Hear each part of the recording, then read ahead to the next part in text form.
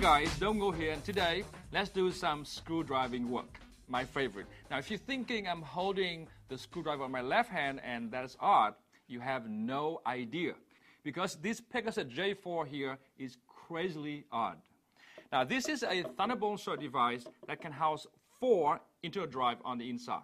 But you have to dismantle it before you can see the drive. On the bottom here, you see there are five screws. You have to undo them before you can lift the top up.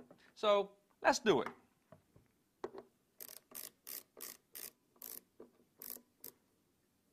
You can see I'm pretty good at this, even though I'm lefty. So now the screw off, you can lift the top up, and voila, here are the internal drive. Now you do have to unscrew one more to take a drive out in case you want to replace it. There you go. The J4 work with any internal drive, both regular hard drive or SSD. Now the second odd thing about the J4 is the fact that even though it hosts four internal drive, it does not support RAID 5, but just RAID 0, RAID 1, and JBOD. Basically all that your Mac operating system support natively. You can find all the options to configure the drive by using the disk utility in your Mac operating systems, which you have to use to configure drive before you can use it. Now on the bottom, you see another bay right here. It's not a dry bay, but instead, it's a place where you can replace the fan.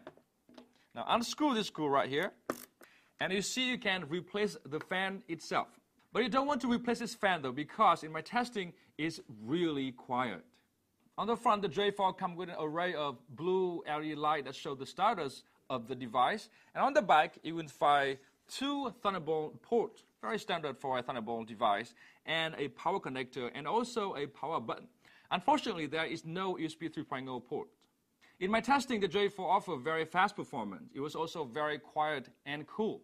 Basically, what it has to offer justify its cost, which is $400 without storage or $800 with 2 terabyte. And of course, for those who like messing around, like me, the screwdriving work is a bonus. Note that the Thunderbolt cable is not included though, so you have to get one for yourself. Me personally, I don't care because I have a ton right here. But that's of course um, don't know, and this has been the brief first look at the Promise J4 Thunderbolt short device.